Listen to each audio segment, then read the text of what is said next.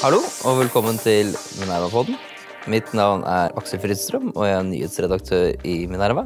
Og med meg i studio har jeg også vært så heldig å få med meg en gjest, og det er deg, Mahmoud Farahman. Du er stortingsrepresentant for Høyre Det stemmer. fra Telemark. Kraftfylke. Kraftfylke, ja. Og i dag så skal vi jo prate om noe veldig spennende. Og jeg kan jo røpe at det er dessverre ikke Stortingets merknader, så du får komme tilbake. Kanskje, kanskje et annet program, så kan vi ta opp det. Eh, men det vil jo måtte i så fall bli et mye lengre program. bare, Vi har jo bare en time til disposisjon. Men eh, eh, vi skal snakke om noe som vi har hatt på Minerva før også, og det handler om norskhetsdebatten. Vi har jo tidligere også hatt han debattredaktøren i Avisa Oslo her, som har skrevet om når man er norsk nok, og hvorvidt man Han skriver at han har si, eh, gitt opp å føle seg norsk. Eh, nå kommer det også en eh, ny bok, Norsk nok, hvor du er en av bidragsyterne. Og i den sammenheng så er det jo interessant å føre litt med deg om hvordan du ser på disse tingene. Altså når er det man kan føle seg norsk nok, og bør man føle seg norsk nok? Og, Ja, man bør og kan. Det, det, det, det der er ganske jeg tror det er veldig individuelt og vanskelig tema. da. Men som jeg eh, har sagt og skrevet altså jeg, jeg er norsk statsborger. Jeg har ikke noe annet statsborgerskap. Jeg har bodd der siden jeg var åtte-ni år gammel. Og Norge er hjemlandet mitt. Jeg har ikke et annet hjemland. Uh, og jeg har jo tjenestegjort i det norske forsvaret i mange år og, og reist til utlandet, vært i konfliktsituasjoner osv. For meg så, så er jeg er norsk for, for egen del, slik jeg ser det. Så kan andre mene andre ting. Det har de helt rett til å gjøre. Men, men jeg tror vi er, vi er nødt til å Vi som sitter i disse fremskutte samfunnsposisjonene, må eh, gi de yngre menneskene i det samfunnet et håp. Vi må kunne bidra til at de også ser at de har mulighet til å lykkes. Eh, Uansett hvor de måtte være født og hvordan de måtte se ut. Så når vi som har fremskutte sam- sam- samfunnsposisjoner, da mm, på en måte sier at vet du hva, dette, dette samfunnet vil ikke ha meg, så lurer jeg på hva det gjør med disse unge menneskene. For jeg har vært ung selv. Jeg skulle ikke tro det. Eh, og jeg har levd et eh, veldig annerledes liv enn mange av de som er på Stortinget. Mye veldig turbulent og ungdomstid, kan jeg si. På godt og vondt. Eh, og, det er liksom sånn, når jeg, går tilbake til da jeg var 15-16-17-18 sjøl, og ser på det, så tenker jeg at ja, eh, hvis jeg på daværende tidspunkt hadde hørt de samme tingene som jeg hører nå, for det, det hørte jeg, og, og det var eh, med mye, mye høyere volum eh, enn det var på daværende tidspunkt. Hadde jeg da tenkt at dette samfunnet vil ta meg imot og vil gi meg muligheter, og, og dersom de ikke vil gjøre det, hvorfor skal jeg gidde å prøve? Men, men, men eh, når du da sier disse tingene som vi hører nå, med høyere volum, altså, da, da refererer du til altså den debatten om at folk som har si, annen etnisk bakgrunn, ikke kan føle seg norske? Er det liksom det som er Ja, poenget? ikke, ikke, kan, ikke kan føle seg norske. For med det å ikke føle seg norsk, så, så er det mange andre ting som sies også. Altså, ikke bare at du ikke kan føle deg norsk, men du har ikke samme mulighetene som etniske nordmenn. Som eh, hvite nordmenn, eller hva man skal si. Ehm, og, og da er det slik at det, det stopper ikke med å bare ikke føle seg norsk, men det stopper også med at det, det kommer også dette med manglende på muligheter, og at du blir aktivt diskriminert og du blir holdt på utsida av samfunnet. Jeg sier ikke at dette ikke skjer, det er ikke det vi snakker om. Men, men det er dette med at vi må kunne gi de unge et, forhå- altså et håp om at de kan lykkes, uansett bakgrunn. For vi har altså Vi må være klar over at dette landet her her er strukturene satt på plass og, og skapt tverrpolitisk mer eller mindre for at alle skal kunne være eh, Eller alle skal kunne få muligheten til å lykkes. Eller muligheten til å oppnå det de har lyst til. For det er jo, sånn som jeg forstår det, så er det to, det er to forskjellige aspekter. Altså det ene er jo å si i hvilken grad forekommer rasisme og diskriminering i Norge. ikke sant? Det er jo ett spørsmål. Det er stor uenighet om hva som er omfanget. Noen mener det er veldig mye, andre mener det er veldig lite. Den andre debatten er jo også ok, uavhengig av hvor mye det forekommer, er jo også et spørsmål om hvordan, hvordan skal du selv for, forholde deg til, til at det er sånn. Og du, det jeg liksom har øh, ja, Du må jo gjerne svare på begge spørsmål, men det jeg øh, har liksom oppfattet litt, at du er særlig opptatt av hvordan er det man selv skal måtte forholde seg til at diskriminering liksom forekommer. Jeg, jeg, kan, altså, jeg har jo skrevet litt om dette gjennom årene, eh, og jeg, jeg tror jeg, Vi må eh, gi barn og unge, og voksne for så vidt, en forståelse av at i dette landet her iallfall, så kan de selv påvirke sin framtid i stor grad. Eh, det betyr, altså det betyr, ikke at du ikke mislykkes, for mislykkes det kommer vi til å gjøre uansett. Det gjør vi alle. Jeg, både du som ser veldig norsk ut, og jeg som ser mindre norsk ut. Du skal ta disse, disse, disse, disse, disse referansene i bruk. Jeg har mislyktes i livet. Altså, jeg skriver i denne boka at eh, jeg har prøvd på militære opptak flere ganger. Feila, fått muligheten på nytt. Det har gått bra. Jeg har gjort det dårlig på skolen osv. Altså, det er mange ting som har skjedd. Men til tross for dette eh, jeg kunne, altså Alternativet mitt da, når man mislykkes, alternativet mitt var da, og det er det fortsatt, å si at det er ytre faktorer som påvirker at jeg ikke lykkes. Jeg har ingen kontroll på disse faktorene, og dermed så kan jeg bare eh, gi opp. For å ta det ekstreme tilfellet. Det syns jeg er vanvittig dårlig idé. Eh, fordi det eneste du kan, altså, du kan påvirke en del ting, men det du kan gjøre aller mest med, er deg selv. Du kan gjennom eh, de, de verktøyene du har, de, de, de, fordelene og ulempene du har, hva det måtte være, påvirke din egen framtid. Påvirke livsutviklingen din. Ved å fokusere på deg selv så kommer du lenger mener jeg, enn å fokusere på ting du ikke får gjort noe med. Jeg kan ikke påvirke hvordan du ser på meg. Hvordan du vurderer meg du er et godt voksen menneske. Det å påvirke dine holdninger og tanker og ideer om meg, det, vil, det er et ja, vanvittig krevende ting. Da må vi sitte innelåst i et rom i flere år for å kunne få gjort noe med det. tror jeg. Men, men det, at, det, jeg kan gjøre noe med, er min egen innsats. Det jeg kan gjøre noe med, er veien jeg velger. Det jeg kan gjøre noe med, er eh, det nettverket jeg skaper meg, eh, osv. Jeg tror det er viktig å for, for oss å forstå det. Eh, det betyr ikke at det, det, det betyr på ingen måte at samfunnet der ute eh, ikke bør endres ikke bør gjøre endringer. Men jeg tror fokuset vi må gi folk, og, og ha selv, er, er, på vår egen innsats.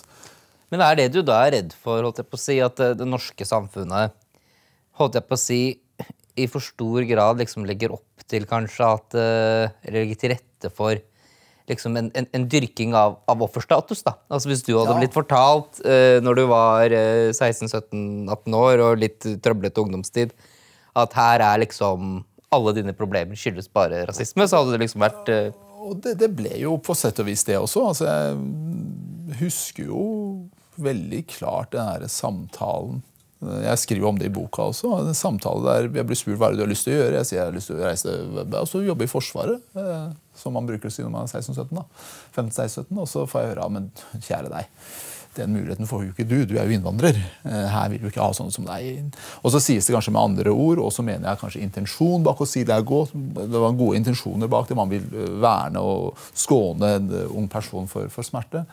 Men, men det tar håpet fra folk, altså. Og det er nettopp disse tinga her som, som jeg syns er liksom litt viktig å ha med seg. Hvilke signaler vi, vi, sender folk. Hva vi sier til dem. En annen sånn artig del av den debatten her er jo uh, Det, det foregikk her for, uh, for, fullt her i høst. Uh, Regjeringa har ingen innvandrere, Eh, ingen med innvandrerbakgrunn i, ingen med innvandrerbakgrunn er en del av den regjeringa. Så tenker jeg, hvilken relevans har det egentlig? Jeg er jo grunnleggende uenig om det er innvandrere i den regjeringa eller ikke. Men, men, men, men, eh, hvilken relevans har det egentlig? Hvilken bakgrunn du har når du sitter i et regjeringsapparat? Er det kun det ytre, det synlige, som definerer hvem jeg skal ha som en sånn forbildereferanse. Jeg sa det jo til Minerva for mange år siden at jeg, kan heie like mye på Bjørn Dæhlie som jeg kan heie på det iranske lands, fotballandslaget. Eh, iranere går ikke på ski, eh, godt er det, og nordmenn er forferdelig dårlige til å spille fotball nå om dagen. Liksom, men vi må ikke gjøre det til at det er hudfargen som definerer hvem, hvilke forbilder jeg kan ha. altså. Men bare til, til, til en ting. altså Når du da fikk beskjed når du var ung da, om at nei, du kan ikke komme i Forsvaret, om det liksom var godt eller vondt ment, eller hva det var for noe, fordi du har ransbakgrunn Men får ikke de som sier at det, det, er liksom umulig å bli norsk nok da, hvis du har annen etnisk bakgrunn, får ikke de liksom litt rett, da? Når du, du, du fikk den beskjeden? Ja, og det, det, var jo det var ikke en nordmann som sa det. Det var en innvandrer som sa det til meg. Det, det må også sies. Så, eh, og jeg har jo, ja, jeg har eh, for første forsøket mitt på å bli soldat gikk jo ikke så bra, kan man si. Eh, så jeg måtte prøve igjen. Men hva var alternativet, da? Alternativet til å prøve igjen, hva er det? La være å prøve. Altså, for meg så er det Og det er kanskje litt, litt av både på pluss- og minussida. Man, man, man, må av og til, eh, selv om man feiler, da, tør å prøve igjen. Tør tørre å satse igjen. Og så må man ha flaks. Og det skal jeg ta, si. Man må ha flaks. Eh, og det er Jeg hadde jo jeg hadde flaks fordi jeg kunne et språk som Forsvaret trengte i en periode. Det var det som på en måte ble inngangsnøkkelen min til runde nummer to. Og så møtte jeg på folk til å begynne med som ville, faktisk oppriktig ville meg vel, tror jeg. Eh, og da må man, den flaksen må man ha. Eh, men man må også erverve kompetanse som er relevant, og sørge for at man er relevant. Og tørre å prøve. Fordi jeg kunne, når jeg ble ringt etter den gangen, det husker jeg jeg satt eh, som datareparatør i kjelleren på Høgskolen i Telemark når Forsvaret ringte og sa du, når kan du reise til Afghanistan. Litt sånn spøkefullt sa jeg om et par-tre dager. Ja, da kommer du til oss en tur da, på intervju. I morgen. Og Dagen etterpå var jeg eh, i Oslo på intervju. Og, og, de menneskene jeg møtte på det intervjuet, som jeg sier, de ville meg oppriktig vel. De ville at jeg skulle, Og de, de ble på en måte inngangsporten min til, til, andre muligheter i Forsvaret. Og så klarer man å levere på, på visse ting og gjøre en grei nok jobb, og så får man muligheten videre. Så, så det, det, altså, Om man blir norsk nok Det som er interessant, er, er jo at hva vil det si å være norsk nok, og hvem er det som definerer om du er norsk nok eller ikke? Er det sånn at mine, altså jeg, la, la oss ta det sånn, Hvis vi sier at vi skal bo fem-seks generasjoner i Norge før jeg er norsk nok, da. Men endrer det på det faktiske forholdet at jeg har de samme mulighetene som deg? Jeg tror ikke, jeg, jeg tror ikke det. Altså, det som definerer, det ser man på dette, denne ene forskninga som er gjort i Europa over tid, eh, viser at det er veldig mye på nettverk, veldig mye på, på hvordan sosiale statusen oppleves osv. Som, som er avgjørende for om du kommer fram eller ikke. Og så er det jo selvfølgelig Diskrimineringa er der, men har man et godt nettverk, så kommer man mye lenger enn hvis man ikke har det. Men hvor, For dette er jo liksom den, den, andre biten av dette. altså Hvor mye si Eh, rasisme og diskriminering er det liksom som, som finnes i Norge? For man har jo eh, vi, vi, har jo skrevet om det mange ganger. altså Man har jo øh, f.eks. en del sånne Instagram-kontoer og nesten sånne sosiale medier, geriljagrupper, som, som forsøker å dokumentere eller finne rasisme, og så liksom fremvises det her denne damen i kassen på Kiwi for eksempel, var litt rasistisk. eller noe sånt. Uh, så det er jo ett bilde som viser at det skal være veldig mye. Uh, men så er det jo også jeg har i hvert fall litt inntrykk av deg, at det, du kanskje ikke mener at det er så veldig mye? Liksom, Nei, jeg, jeg mener, altså, det blir spurt, Jeg ble jo spurt av Aftenposten her uh, Opplever rasisme som et stort problem i din hverdag? Nei, jeg gjør ikke det. Det kan være mange grunner til det, men jeg opplever ikke det. Og det, det kan, altså, jeg mener personlig jeg ser ikke etter det. Uh, jeg ser på meg selv når jeg skal gå herfra bort til disse berømte pendlerleilighetene mine som Stortinget har gitt meg. Så er det visse deler av den veien bort dit der jeg krysser gata og er litt mer årvåken. og sånn. Eh, hadde jeg vært hvit, så hadde kanskje noen opplevd det som rasistisk. Men fordi jeg ser ut som jeg gjør og har den bakgrunnen her, så er det mindre rasistisk. Og så er det slik at eh, jeg tror vi må, vi må være litt sånn, sånn Jo, la oss også si at rasisme og diskriminering er et større problem enn en, en det jeg kanskje opplever. Men hva er løsninga? Hvordan løser vi det? Jeg tror løsninga ligger i å altså ikke Overse det er jo feil, men, men, prøve å jobbe med de tinga du kan jobbe med. Og jeg, jeg, mener altså at når jeg vokste opp i Norge Jeg kom til Norge 87-88, der omkring. Og det var ikke en eneste innvandrer å se på TV som ligna på meg. Ingen. Jeg hadde ikke færre forbilder av den grunn. Det var ikke en eneste lærer med innvandrerbakgrunn. Bortsett fra min mor, som var fars lærer på, på, den skolen vi gikk på, og et par andre. Eh, det gjorde ikke livene våre som betydelig dårligere.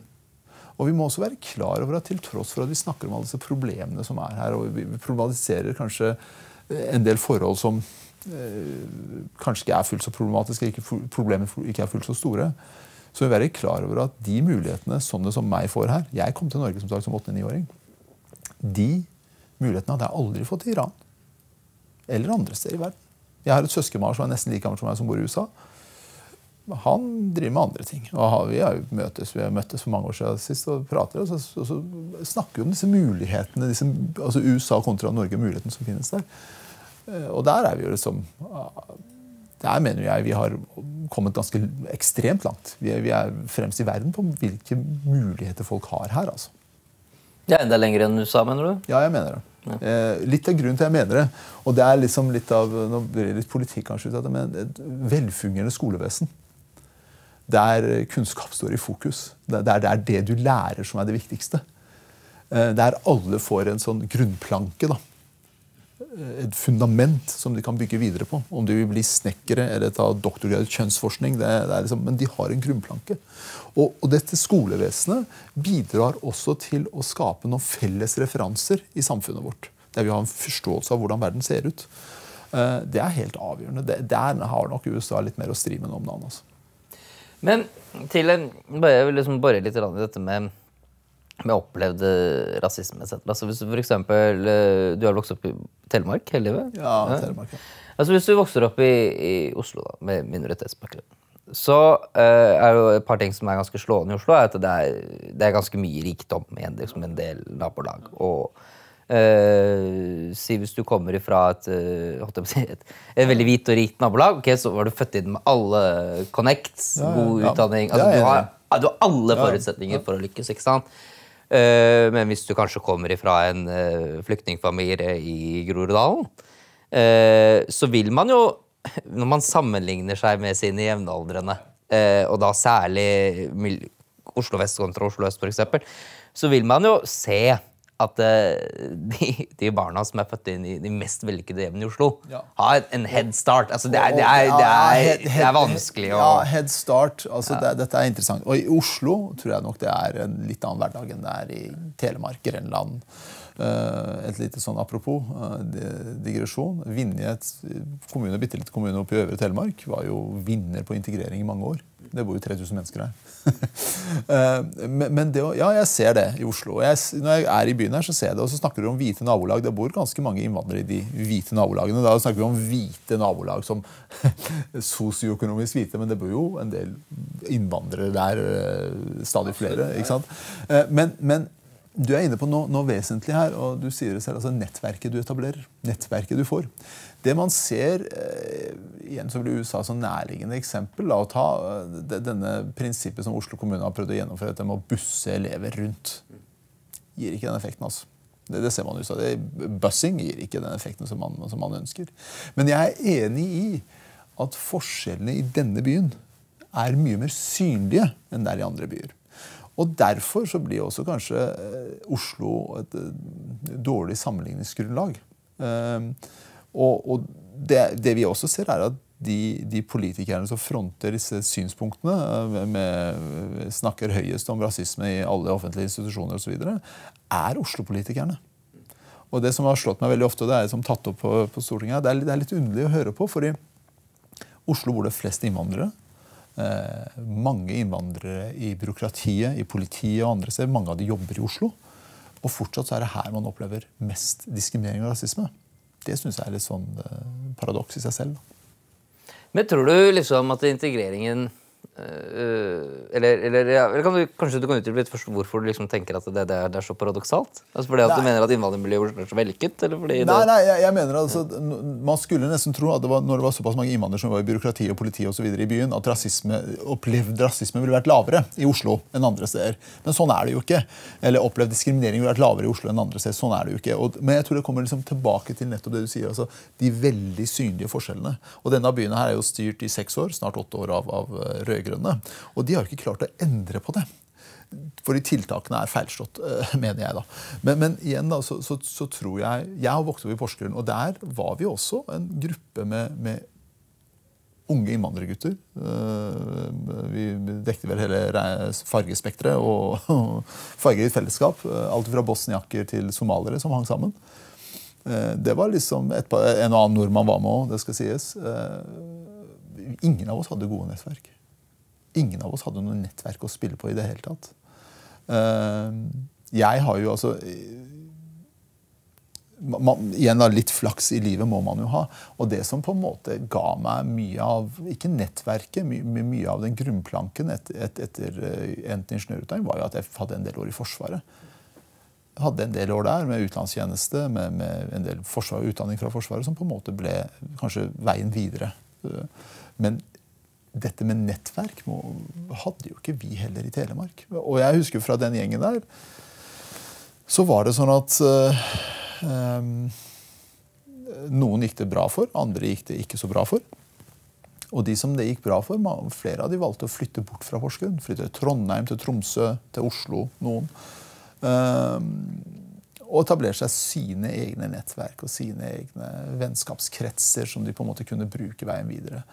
Og, og, og det tror jeg også er noe vi må ha med oss med Oslo. også. Skal vi klare å få innvandrerne i Oslo til å oppleve et bedre liv, så er jo dette nettverket helt avgjørende. Og en annen ting som jeg stusser over Nå blir det mye digresjoner mye prat her, men men det er jo dette eh, at innvandrere selv også søker seg til Oslo. Det er ganske underlig når, når man vet hvor krevende det er, hvor dyrt det er å bo, i Oslo. Du kan få et betydelig bedre liv i Telemark, Agder, eh, Innlandet, Østfold ja. Kan man snakke om Østfold? men, men Trøndelag osv. Ved å, å bo der. Der er jobbmuligheter. Der er det mm, billigere å bo. Det er lettere å komme i kontakt med folk. Og skaffe seg nettverk. Ja, men hvorfor? Eh, for det er jo interessant. altså i veldig mye av norsk eh, integreringspolitikk eh, eller over tid, så er det i hvert fall veldig mye av flyktningstrømmen er jo sentralisert rundt Oslo. og Folk eh, flytter jo også hit i tillegg, så blir det en sånn selvforsterkende effekt. Men mener du at det liksom er kontraproduktivt for å få til ja, god integrering? Jeg, jeg, mener det. Jeg mener det er veldig Jeg mener det er feil. Uh, og når Oslo da her for noen år siden gikk ut da, ja, vi skal ta imot x antall tusen nye innvandrere og bosette innvandrere, så tenker jeg hvorfor skal dere det? Hvorfor løser ikke problemet for de som allerede er her? Uh, fokuser på de utfordringene du har, du har, på bordet ditt nå, og så kan du begynne med nyhet etterpå. Og det er ikke at innvandrere er utfordring, men, men klasse, altså, den situasjonen i Oslo er utfordrende for, for veldig mange. Uh, jeg hadde jo igjen, når, når, du har bodd en periode i Norge uh, som nyankommen, det var sånn det var på 80-tallet, når vi kom hit, så, så kunne du velge hvor du ville bo. Etter at du har fått oppholdstillatelse Eh, og min mor valgte jo da å krysse av for Sandnes og Levanger i Trøndelag. og et par tre andre steder. Så vi endte om å bo i Levanger. Og så sånn, og når vi skulle, for hun skulle ta sykepleierutdanning, og det, det, gjorde hun der oppe. Så når vi, skulle, når vi, var ferdig med utdanning og skulle finne seg jobb, så var det ikke Oslo vi trakk etter. Når vi fikk jobb i Porsgrunn, det var greit vi ville bo i Porsgrunn. Så jeg er jo, må si at igjen flaks og de valgene hun tok, bevisst eller ubevisst, har jo ført til at ting har blitt som det har blitt. og Eh, jeg har jo Tror du det hadde vært mye vanskeligere for deg å vokse opp i Oslo? Ja, jeg tror det. Det, det, det, det tror jeg. Det er mye mer Alenemor, øh, sykepleier Hadde ikke vært lett. Det, er jeg helt overbevist om. Jeg er veldig glad for at vi bor i Porsgrunn. Jeg er veldig glad i Porsgrunn og Telemark. Uh, og så er det jo sånn Det er jo han som fikk meg inn i politikken. Espen Storvann, en, faktisk en venn av meg. Uh, han ble jo kjent med når jeg spilte fotball. Han som ba meg på første Høyre-møte og sa du, dette er kanskje noe for deg. Og det er, en, det er, mye lettere å etablere disse nettverkene i en, i en by med 30 000-40 000 innbyggere. Der du dukker opp på samme fire fotballtreninger i uka og møter folk og kommer i dialog med dem osv. Og da var det, altså, det var, Vi var jo tre innvandrere på det, det A-laget med 25 spillere osv. Så, videre, så det, det var liksom litt lettere å få danna disse nettverkene. Uh, Mens Oslo er så stort at man kan lage dine egne ja, du. Ja, du, jeg husker jo Jeg spilte litt på Jeg husker ikke hva det lag i fjerdedivisjon på østkanten. Haugerud eller Trosterud eller noe sånt. Jeg husker jeg kom opp der og var på noen treninger. Uh, og så var det noen andre innvandrere der, og man spør ja, hvor er du fra. Og, altså, det var jo masse nordmenn og noen innvandrere. Så spurte jeg et par-tre yngre innvandrere ja, hvor er dere fra. Uh, de snakka litt gebrokkent norsk, så jeg antok jo at de var liksom Nei, de var norske. Jeg sier, ja, men hvor er du fra? Nei, altså, De var født i Norge. Å ja, tenkte jeg. Født i Norge, og så snakker du dårligere norsk enn som kom da du var 8-9. Ikke dårligere norsk, men du har liksom den derre uh, tonemfeilene, du, du har aksenten osv. Og det var kanskje en av de, det her var jo på, midt, eh, på begynnelsen av 2000-tallet, og da tenkte jeg at hm, det er en litt annen verden her. altså. Og det er nettopp altså, Når du da på en måte blir boende sammen over tid, arbeids, altså Hverdagsspråket ditt er noe annet enn det vil være på en skole med kanskje fem innvandrere, og, og, eller 4-5 innvandrere, kanskje et par-tre prosent innvandrere. Så vil det påvirke eh, språket ditt, som igjen vil påvirke eh, sysselsettingsmulighetene som igjen vil påvirke nettverket du får, osv. Nå vet jo ikke jeg om, om du har rett eller nei, Men la oss si at du har rett. eh, så peker du jo på en del Hvis vi legger til grunn at du har rett, så legger vi til grunn at du peker på en del sånn veldig interessante paradokser. For at i Norge så gjør vi jo en del ting, ikke sant? gjerne for å være snille. Ikke sant? Altså, det handler jo om altså, hvorfor dette fokuset på eh, antidiskriminering og rasisme. Det er jo selvfølgelig veldig godt ment. Ikke sant? Ja, ja, det er jo en institusjonalisering Ja, ja. av noe som er veldig godt ment. At vi ikke ønsker at noen skal, skal møte det i hverdagen. Eh, Det andre, for eksempel, med å si at Oslo kommune sier at de vil ta imot flere flyktninger. Det er selvfølgelig veldig, det er jo ingen på, som ville si det, som ikke mener det veldig godt. Det er et, et uttrykk for godvilje. Men eh, det du sier, er jo både at dette liksom eh, Hvis du overfokuserer på dette med rasisme og diskriminering, så kan man liksom bidra til å lage en offermentalitet som de som blir fanget i offermentaliteten, ikke har godt av. Eh, hvis man eh, tar imot for mange eh, flyktninger i Oslo, så er det vanskeligere for å lage de nettverkene de trenger for å liksom bli et samfunn. Så Eh, hvorfor tror du Jeg synes disse paradoksene er interessante. Det er vanskelig for meg å evaluere om du Kanskje, det, kanskje, kanskje, det, kanskje det ikke finnes noe svar du kan liksom sette to, to streker under, men hvordan kunne man liksom eh, Hvis man la dine innsikter til grunn, altså, hva, hva kunne man liksom gjort for å bevege seg nærmere de tingene som du tror er fornuftig? Hva man kunne ha gjort altså, um, du, du inne det, det, Jeg tror folk mener godt. Det, det tror jeg. Uh, og så tror jeg det fins folk der ute som prøver å uh, kapitalisere uh, på, på å skape ikke misnøye, men, men, men den, denne, dette behovet for at deres råd om diskriminering og rasisme er til stede. De prøver å skape et sånt eh, eh, mulighet for seg selv der. Så, så, det, så får det være. Men det jeg tror er en ting som er viktig her, det er spredt bosetting av nyankomne. Det tror jeg er helt avgjørende. Eh, Men så leste jeg en artikkel i NRK at eh, veldig veldig mange jeg husker ikke tallet, av de nyankomne eh, enslige mindreårige de trakk til Oslo etter at de var ferdig med, med å bo ute i distriktene. Men uansett så, så tror jeg det å bosette spredt, gi muligheter der ute, er viktig. Det, det tror jeg er en del av det. Og så tenker Jeg jeg har jo to barn som går på skole, og så kommer de hjem, og et av de spørsmålene som kommer opp som kom opp en dag, var pappa opplever veldig mye rasisme i Norge. Da hadde jeg nettopp blitt stortingsrepresentant. Spurte jentungen på 14. Uh, og jeg tenkte, Hvor kommer dette spørsmålet fra? Uh, og snakket litt med henne om det, og så, så viser jeg at det er som et tema de har på skolen. dette med rasisme Og diskriminering. Og det er godt ment. Men da må også fokuset være positivt. Ikke sant? Altså Gi folk de verktøyene de trenger for å løse hverdagen sin. Og ikke dyrke en offermentalitet som de er ute etter. Uh, vi skal alle være bevisst våre eh, fordommer og preferanser. Vi vi er mennesker. Eh, det skal vi selvfølgelig være bevisst, Men vi må heller ikke gjøre fordommer og preferanser til, til et større problem enn det det er. Det er ganske viktig for meg. da. Eh, og jeg tror eh, alle mener godt. Eller veldig mange mener iallfall godt. Eh, Men jeg tror også vi må indusere folk med håp. Gi dem håp om at framtida kan være lys, til tross for hvor de er fra. Og at vi må ha spredt bosetting av innvandrere. Altså. Det er helt avgjørende. Jeg tror vi kan gå inn for landing, Mahmoud. Det var veldig hyggelig å, å ha deg på besøk. Hyggelig å være her. Ja, Så får vi ta det til, til høsten, de merknadene Ja, som eh, du egentlig har lyst til å prate om. Du, Ja, du får rigge, så vi ta en prat om eh, fondsmeldinga, blant annet. Fondsmeldingen, yes.